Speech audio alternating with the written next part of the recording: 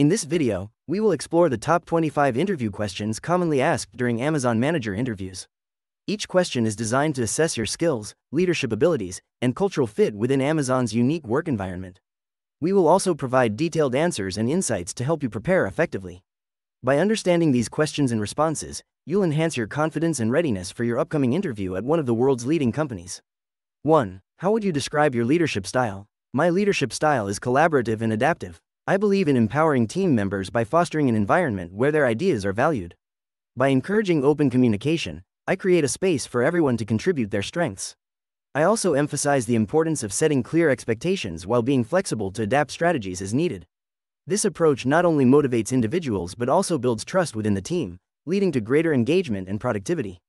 I strive to lead by example, demonstrating integrity and accountability in every action. 2. Tell me about a time when you had to motivate a struggling team member. What was your approach? In a previous role, I encountered a team member who was disengaged and underperforming. I scheduled a one on one meeting to understand their challenges and discovered they were struggling with personal issues impacting their work. I actively listened and provided support, including adjusting their workload temporarily. I also set clear, achievable goals and offered regular feedback to celebrate small victories. By fostering an open environment and providing tailored encouragement, I help them regain confidence and improve their performance, ultimately benefiting the entire team. 3. How do you prioritize tasks and manage your time effectively in a fast paced environment? In a fast paced environment, I prioritize tasks by first identifying urgent versus important activities. I use a combination of tools, such as digital task managers and calendars, to organize my workload visually. Each morning, I review my tasks and set clear, achievable goals for the day. I break larger projects into smaller, manageable steps, allowing for flexibility as priorities shift. Regular check ins with my team help ensure alignment and facilitate adjustments as needed. This approach helps me maintain focus, manage deadlines, and respond effectively to unexpected challenges. 4. Describe a situation where you had to make a difficult decision with limited information. How did you handle it? In a previous role, I faced a critical situation where we needed to select a vendor for a project, but time was tight, and we had limited data on the candidates. I gathered my team for a brainstorming session, encouraging them to share insights and experiences related to each vendor. We created a pros and cons list, prioritizing key criteria that aligned with our project goals. After thorough discussion, we made a decision based on the collective input and instinct, ensuring everyone felt included in the process. This collaborative approach built trust and accountability within the team. 5. How do you approach setting goals and measuring performance for your team? Setting goals involves a collaborative process where team members contribute their insights and aspirations. I begin by facilitating discussions to align individual objectives with our team's strategic vision. SMART criteria, specific, measurable, achievable, relevant, time bound, guide the goal setting process. Performance measurement is continuous. I utilize regular check ins, feedback sessions, and performance metrics to track progress. Encouraging self assessment among team members fosters accountability. Celebrating achievements and addressing challenges together cultivates an environment of growth and support, ultimately enhancing team performance. 6. Give an example of a complex problem you solved. What was your process? One complex problem I faced was during a product launch where a critical feature was underperforming. I initiated a cross functional team meeting to gather insights from engineering, marketing, and customer support. After identifying the root cause, we brainstormed potential solutions. I created a prioritized action plan, assigning tasks based on team members' strengths. We conducted rapid testing and iterated based on feedback. This collaborative approach not only resolved the issue efficiently but also strengthened team dynamics, enhancing our ability to tackle future challenges. 7. How do you handle ambiguity in your work? Handling ambiguity involves embracing uncertainty and remaining adaptable. I approach ambiguous situations by first gathering as much information as possible, consulting with stakeholders and team members. I break down the problem into manageable parts, prioritizing key elements that can lead to clarity. Setting short term goals helps create focus while allowing flexibility for adjustments. Encouraging open dialogue within the team fosters a collaborative environment where diverse perspectives can emerge, leading to innovative solutions. This proactive mindset ensures progress even when the path is unclear. 8. Describe a time when you had to pivot quickly on a project. How did you manage the change? When our team was deep into developing a new software feature, we received unexpected feedback from key stakeholders that required significant changes. I called an immediate meeting to assess the situation. We prioritized the feedback, identified critical changes, and adjusted our timelines. I reassigned tasks based on team members' strengths to ensure efficiency. Open communication was crucial. I kept everyone informed about progress and expectations. By focusing on collaboration and flexibility, we successfully delivered the revised feature ahead of schedule, enhancing stakeholder satisfaction and team morale. 9. Tell me about a time when you failed. What did you learn from the experience? In my previous role, I led a project that ultimately did not meet its objectives due to a lack of thorough market research. I had assumed we understood our audience well, but we failed to validate our assumptions adequately. This experience taught me the importance of data driven decision making and the need for comprehensive research before launching any initiative.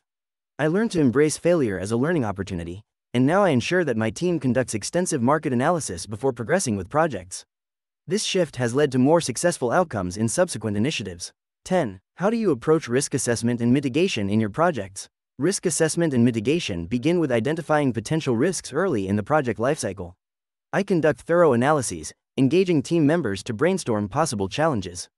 Once risks are identified, I categorize them based on their likelihood and impact. I then develop strategies tailored to each risk, which may include contingency plans, resource allocation, or risk avoidance measures. Regular monitoring during the project allows for adjustments as new risks emerge. By fostering open communication, I ensure that the team remains proactive and equipped to handle unforeseen issues effectively. 11. How do you ensure your team maintains a customer centric focus? Ensuring a customer centric focus involves regular communication about customer needs and feedback. I promote an environment where team members are encouraged to share customer insights and experiences, which helps us remain aligned with their expectations. We hold weekly meetings to discuss customer feedback, identify areas for improvement, and celebrate successes.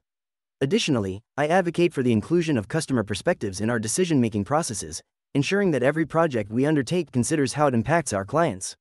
Training sessions focused on enhancing customer service skills are also essential. 12. Describe a situation where you went above and beyond for a customer. In one instance, a customer reached out expressing frustration over a delayed shipment that was critical for their business. Recognizing the urgency, I personally contacted our logistics team to expedite the process. I also arranged for a temporary solution by sourcing the product from a local retailer and delivering it directly to the customer's office. I kept the customer informed throughout the process, ensuring they felt valued. This proactive approach not only resolved their issue but also strengthened our relationship, as the customer appreciated the extra effort taken on their behalf. 13. How do you balance customer needs with business objectives? Balancing customer needs with business objectives requires a strategic approach. First, I prioritize understanding customer feedback and pain points through regular communication and surveys. This insight informs our product or service offerings. Next, I ensure alignment between customer expectations and business goals by involving stakeholders in discussions. I advocate for flexible solutions that meet customer demands while considering resource constraints. This dual focus fosters loyalty, drives revenue, and supports sustainable growth, ensuring that both customer satisfaction and business viability are achieved. 14. Tell me about a time when you had to deal with a difficult customer. How did you handle it? When I encountered a difficult customer who was unhappy with our product, I first actively listened to their concerns without interrupting. Acknowledging their feelings was crucial. Next, I asked clarifying questions to fully understand the issue and offered potential solutions tailored to their needs. I ensured that I followed up with them after implementing the solution to confirm their satisfaction. This approach not only resolved the immediate problem but also helped build a stronger relationship with the customer, reinforcing their trust in our brand. 15. How do you gather and utilize customer feedback to improve processes or products? To gather customer feedback, I implement a multi channel approach, including surveys, interviews, and feedback forms. I encourage direct communication, ensuring customers feel their opinions are valued.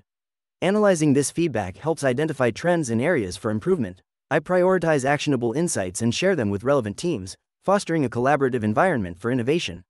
By integrating customer feedback into our processes, we can enhance product features and streamline services, ultimately leading to increased satisfaction and loyalty. Regular follow ups with customers also ensure they see their input is taken seriously. 16. How do you foster innovation within your team? Innovation can thrive when team members feel safe and supported. I encourage an open environment where everyone can share ideas without fear of criticism. Regular brainstorming sessions allow diverse perspectives to surface, fostering creativity. I also implement a fail fast culture, where experimentation is encouraged, and learning from failures is seen as a valuable step toward success. Recognizing and rewarding innovative efforts, regardless of the outcome, reinforces the importance of creativity in our work. This proactive approach motivates team members to think outside the box and contribute to our goals. 17. Describe a time when you implemented a new idea or process that significantly improved efficiency. In my previous role, I noticed that our team was spending excessive time on manual data entry, which led to delays in reporting. I proposed implementing an automated data capture system that integrated with our existing tools. After gaining approval, I led the project, collaborating with IT for seamless integration. Once launched, the new system reduced data entry time by 50%, allowing team members to focus on more strategic tasks. This not only improved our efficiency but also enhanced data accuracy, leading to better decision making across the organization. 18. How do you stay updated on industry trends and technological advancements? Staying updated on industry trends and technological advancements involves a multifaceted approach. I regularly subscribe to relevant industry publications and newsletters, which provide insights into emerging trends and innovations. Attending conferences and webinars also allows me to network with peers while learning from experts. Additionally, I engage in online forums and social media groups focused on my field. By fostering relationships with thought leaders and participating in discussions, I ensure I remain informed and can adapt my strategies to align with the latest developments. 19. Tell me about a time when you challenged the status quo. What was the outcome? Challenging the status quo occurred during a project where our team relied heavily on outdated processes. I proposed a new digital tool that streamlined our workflow, enhancing collaboration and efficiency. Initially, some team members resisted the change due to comfort with existing methods. I organized a demo and shared data illustrating potential time savings. Gradually, I gained buy in, and we transitioned to the new system. The outcome was a 30% reduction in project turnaround time, fostering a culture of innovation and openness to change within the team. 20. How do you encourage creative thinking among your team members? Encouraging creative thinking involves creating an open environment where team members feel safe to share ideas without judgment. I often hold brainstorming sessions where all contributions are welcomed, regardless of how unconventional they may seem. I also promote collaboration by pairing individuals with different skill sets, which often leads to innovative solutions. Lastly, I provide opportunities for ongoing learning, such as workshops or courses, to inspire new perspectives.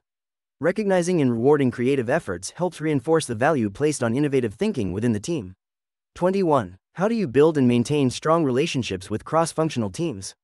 Building and maintaining strong relationships with cross functional teams involves open communication, mutual respect, and collaboration. I prioritize regular check ins to ensure alignment on goals and objectives. I actively listen to team members' perspectives and encourage feedback to foster trust. Celebrating successes, both big and small, helps in strengthening bonds. Additionally, I make an effort to understand the unique challenges and strengths of each function, which enables me to facilitate smoother collaboration and synergy across teams.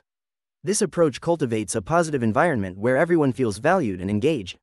22. Describe a situation where you had to resolve a conflict between team members. In a previous project, two team members disagreed on the best approach for a critical task, leading to tension and decreased productivity. I organized a mediation meeting, allowing each person to express their viewpoints. After facilitating a structured discussion, we identified common goals and areas of compromise. I encouraged them to collaborate on a solution that integrated both ideas. This not only resolved their conflict but also fostered a stronger working relationship and enhanced team cohesion, demonstrating the importance of open communication and collaboration. 23. How do you ensure effective communication within your team and with other departments? Effective communication is vital for team success. I establish clear communication channels, such as regular team meetings and updates, to keep everyone informed.